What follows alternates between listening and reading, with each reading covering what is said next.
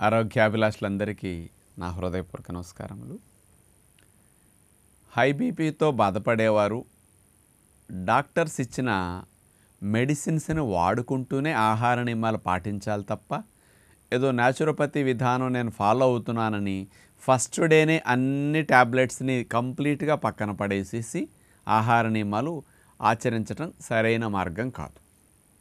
బీపీకి సంబంధించిన మెడిసిన్స్ని డాక్టర్స్ ఇచ్చినట్టు రెండు పూటల లేదా మూడు పూటల వేసుకుంటూనే మనం చెప్పే ఆహార నియమాలను మార్చుకోవటము కొంచెం వాకింగ్ చేయటము సాధ్యమైనంత వరకు మానసిక ఒత్తిడిని తగ్గించుకోవడానికి కొద్దిగా మెడిటేషన్ లాంటివి చేసుకుంటూ బీపీ తగ్గే కొద్దీ క్రమేపీ బీపీ మెడిసిన్ తగ్గించుకుంటూ వచ్చి మానవలసి ఉంటుందన్నమాట.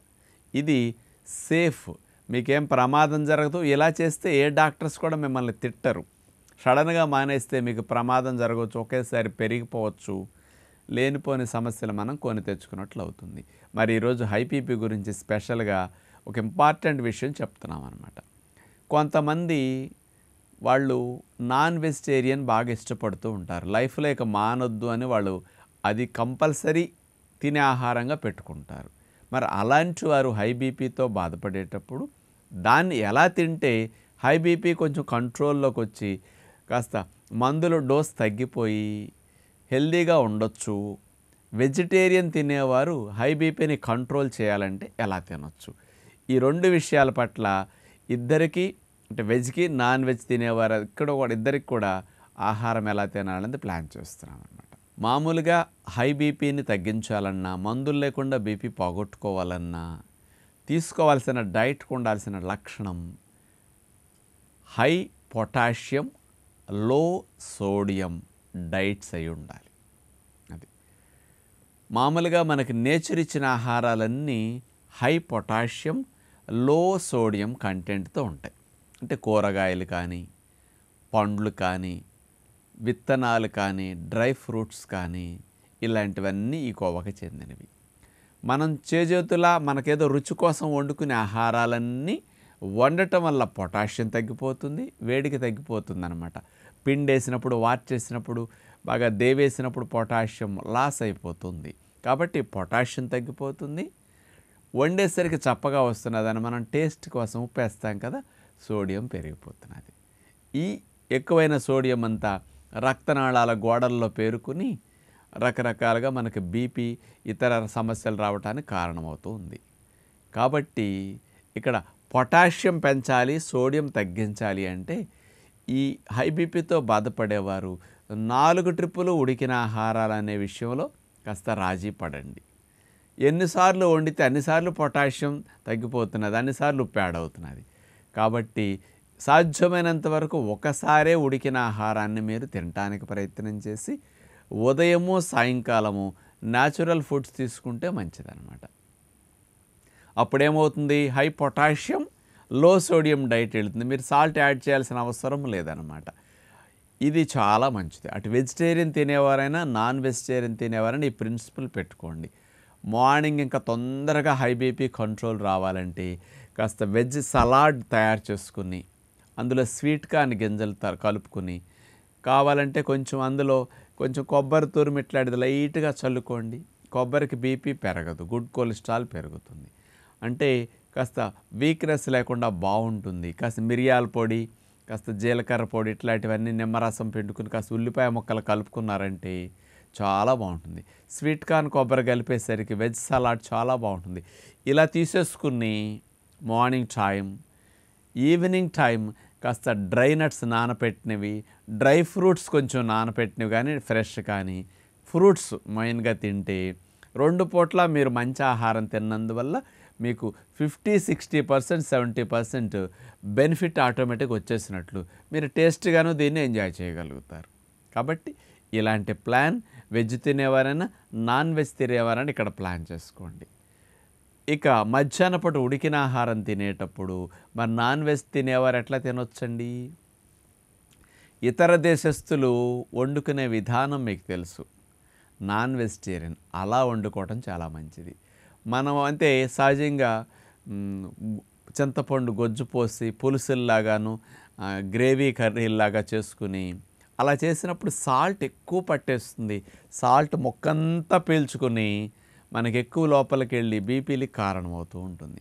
అంచేత వాళ్ళు లైట్గా నాన్ స్టిక్ గ్రిల్స్ పైన ఫ్రై చేసి లేదా ఓవెన్లో పెట్టుకుని దానిపైన మసాలా పొడి కాస్త కారపొడి ఈ ఇట్లాంటివన్నీ పైగా ఉప్పు సైంధవ లవణం లాంటిది పైన చల్లుతూ ఉంటారనమాట మామూలు ఉప్పు చల్లుతారు మన సైంధవ లవణం పైన అట్లా చల్లేసరికి కూడా మీకు తక్కువ sixty seventy percent eighty percent salt వాడకం తగ్గిపోతుంది. ఇలా నాన్ వెజిటేరియన్ కనుక మీరు చేసుకున్నప్పుడు సాల్ట్ ఇన్పుట్ తగ్గేసరికి బీపీ తగ్గుతుంది మీకు వచ్చే సైడ్ ఎఫెక్ట్స్ తగ్గిపోతాయి అన్నమాట అలా పెట్టుకుని ఈ నాన్ వెజ్ తిన్నప్పుడు పైన సైంధవలం చల్లి దీనికి తోడు మీరు ఒక వెజిటబుల్ కర్రీ కూడా డ్రై వెజిటబుల్ అంటారు. మామూలుగా ఏదైనా ఓవెన్లో పెట్టుకున్న నాన్ స్టిక్లో పెట్టుకున్న ఫార్టీ పర్సెంట్ థర్టీ పర్సెంట్ అట్లా ఉడికితే చాలు వెజిటబుల్ మెత్తగా ఉడికించకూడదండి. పూర్తిగా ఉడికించకూడదు. ఒకవేళ నీళ్ళల్లో వేసేసిన ఒక టెన్ మినిట్స్ అట్లా వేసేసి ఒక ట్వంటీ పర్సెంట్ బాయిల్ అయ్యేటట్టు వేసి తీసేసేయాలి. ఇలాంటి వెజిటబుల్స్ తయారు చేసుకుని పైన కాస్త మిరియాల పొడి మసాలా పొడి కొంచెం జీలకర్ర పొడి ఇలాంటివి చల్లుకుని దాన్ని ఎక్కువ వెజిటబుల్ కూడా అట్లా పెట్టుకుని. ఫారినర్స్ నాన్ వెజ్ తిన్నా ఎందుకు ఎక్కువ రిస్కులు రాకుండా అంటే వాళ్ళ నాన్ వెజ్తో పాటు మళ్ళీ వెజిటేరియన్ సలాడ్స్ కానీ వెజిటబుల్ డ్రై కానీ అంటే హాఫ్ బాయిల్ వెజిటబుల్స్ కానీ ఇలాంటివి ఎక్కువ తింటారు. మీరు రెండు రకాల నాన్ వెజ్ ఐటమ్స్ తిన్నప్పుడు కూడా ఒక వెజ్ ఐటమ్స్ తీసుకుంటే ఇందులో ఉండే హై ఫైబర్ డైట్ కానీ ఇందులో ఉండే న్యూట్రియంట్స్ కానీ అవన్నీ బాగా సపోర్ట్ చేస్తాయి అన్నమాట మనకి. అందుకని మధ్యాహ్న పూట లంచ్లో ఇలా తినొచ్చు. అదే వెజిటేరియన్స్ అయితే ఇప్పుడు నేను చెప్పినట్టు సాంతం ఉప్పు లేకుండా కనుక తినగలిగితే మరీ మంచిది. సాంతం ఉప్పు లేకుండా కనుక మీరు తినలేకపోతే అప్పుడు మీరు వండేటప్పుడు ఉప్పు వేయకండి. మేము చెప్పే పద్ధతిలో వంటంతా చేసుకోండి. మీకు ఇబ్బంది అలా నూనె లేకపోయినా తినేస్తున్నారు. ఇతరవన్నీ ఇబ్బంది లేకుండా తినేస్తున్నారు. కానీ ఉప్పు లేని లోటు వల్ల మీరు ఇబ్బంది పడుతున్నారు కాబట్టి వండేటప్పుడు మన పద్ధతిలో నుండేసి వంట అంత అయిన తర్వాత దింపి ఇంత ఒక పావు స్పూన్ ఏదైనా ఆయిల్ వేసి తాలింపు పెట్టి లేదా పచ్చి ఆయిల్ చల్లేసేయండి. అట్లయినా చల్లుకుని. పైన ఇంత సైంధవలో ఉన్న చల్లేసారంటే కూర చాలా బాగుంటుంది. అప్పుడు ఈజీగా ఒకటి రెండు కూరలు అట్లా పెట్టుకు తినేసారంటే మీకు సోడియం కంటెంట్ న్యాచురల్గా ఎక్కువ వెళ్ళదు అనమాట అప్పుడు. బయట నుంచి యాడ్ చేసింది కొద్ది సాల్ట్ కాబట్టి.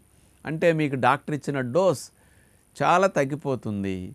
ఇక నిదానంగా కాస్త వ్యాయామం మెడిటేషన్ లాంటివి చేస్తే ఆ మందు కూడా లేకుండా కూడా బీపీ కంట్రోల్కి వచ్చేస్తుంది అనమాట ఎందుకంటే రెండు పూట్ల న్యాచురల్ ఫుడ్ తిన్నారు మధ్యాహ్న పూట ఇలా తిన్నారు కాబట్టి రిస్క్ ఉండదు ఇతర దేశస్తులైతే నాన్ వెజ్ తినేటప్పుడు పక్కనే వెజ్ సలాడ్స్ వెజ్ పఫ్స్ అట్లా పెట్టుకుని అలా వెజ్ శాండ్విచ్లు అట్లా పెట్టుకుని దీంతో పాటు అవి తినేస్తారు. ఎందుకంటే దాని క్లీనింగ్కి దాని యొక్క దోషం మన బాడీకి ఎక్కువ ఉండకుండా ఉండటం కోసం వెజిటేరియన్ కాంబినేషన్ నాన్ వెజిటేరియన్ తీసుకున్నప్పుడు దాని రిస్క్ తగ్గుతుంది అనేది వాళ్ళ ప్రిన్సిపల్ అనమాట అది కరెక్టే సైంటిఫిక్గా తీసుకుంటే కూడా.